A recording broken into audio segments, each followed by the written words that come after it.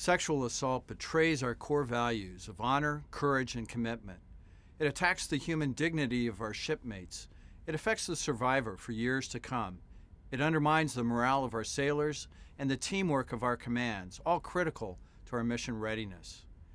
April is Sexual Assault Awareness and Prevention Month, and this year we focused on the theme of courage the courage to learn, to prevent, to intervene, and to support and now the courage to commit ourselves to all of these efforts every day. Chaplains are among the first responders when sexual assault occurs.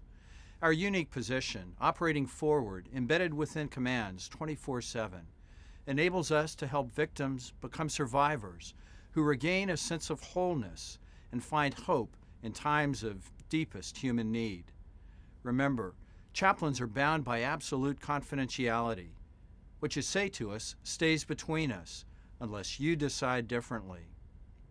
I respect the courage it takes for a victim to find help, to file a restricted or unrestricted report.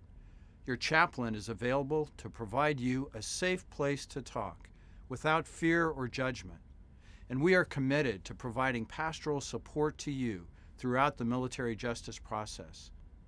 We're also in a unique position to provide pastoral care to an alleged perpetrator, as well as help convicted perpetrators find their way back into our lifelines of honor and courage and commitment.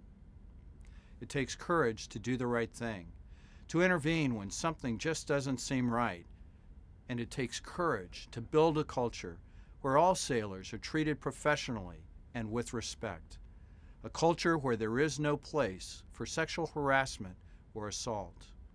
We own it We'll solve it together.